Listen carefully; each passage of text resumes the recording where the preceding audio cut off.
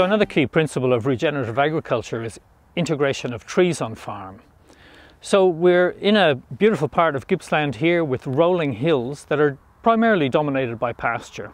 In pasture systems we have a limited number of, of uh, species with limited root architectures. Some of these species might grow to a few inches under the ground, their roots might grow to a few inches under the ground, some might grow to half a metre or even more. But there's still a lot of soil in these deep red ferrosols that's not being utilised by pasture species. So integration of trees into these systems allows for that extra dimension of rooting to exploit these soils. So these roots are going down one metre, two metres down into the, these deep soil profiles and accessing water reserves that are just not being utilised by the pasture species. Now on top of that there's a range of additional benefits that accrue from having trees on farm. One of the probably most important uh, is the change in humidity that happens under trees. So trees are evapotranspiring water from those deeper parts of the soil and it's evaporating out of the leaves. And the physical presence of the trees themselves are helping to, to uh, prevent the movement of that moist air out of the paddock.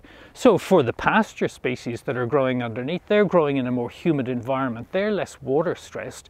The production is going to be enhanced. Similarly, some parts of the pasture are under shade. And as the sun moves around during the day, not all of this pasture is exposed to full sunlight, unlike the neighboring pastures that have no tree cover. Testing has shown in this pasture moisture levels in the top 10 centimetres are higher in summer than they are in a pasture with no tree cover. And this is not what we would expect. We would expect that the trees would be competing with the pasture and would be drawing down moisture uh, to the detriment of the pasture. That doesn't appear to be the case. Now what's also happened here is there's been a lot of experimentation to see what pasture species are going to be most compatible with the trees. And that's been a process of evolution and discovery where species such as brome and clovers are really coming to the fore here. And as you can see, able to grow right up to the base of the tree. So the loss of grazing from the presence of the trees is almost negligible and of course, the trees are going to be an additional important income source at harvest. So the integration of livestock into these systems as well means that the livestock not only have access to quality pasture, but they have shade, they have protection from wind, they're less physiologically stressed. So in a more dynamic and tiered system, we have leaves falling from the trees, we've got prunings from these trees, we've got a lot of woody material going into this and woody material is what we need to stimulate soil fungi. Then the cattle come through, they crash graze these pastures, they're trampling a certain amount of that material into the ground and of course they're spreading manure all over the place.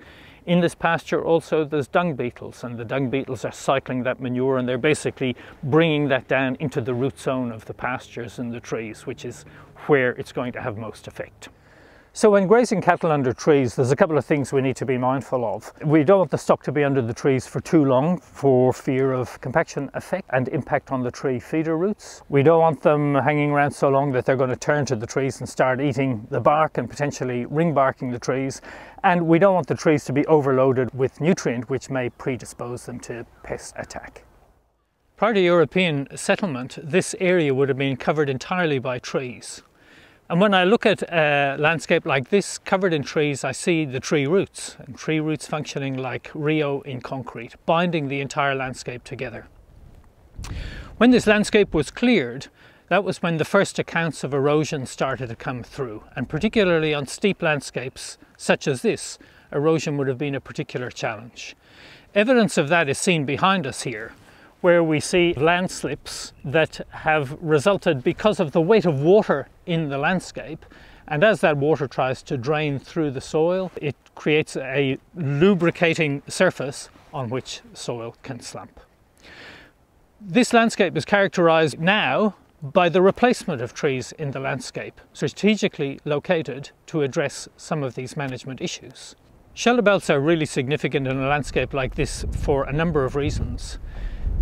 They provide physical protection to stock and they provide benefits also to pastures and crops growing in the lee of the shelter belt. The extent of the benefit from shelter belts is approximately 12 times the height of the tree. So it extends out considerable distances from the shelter belt itself.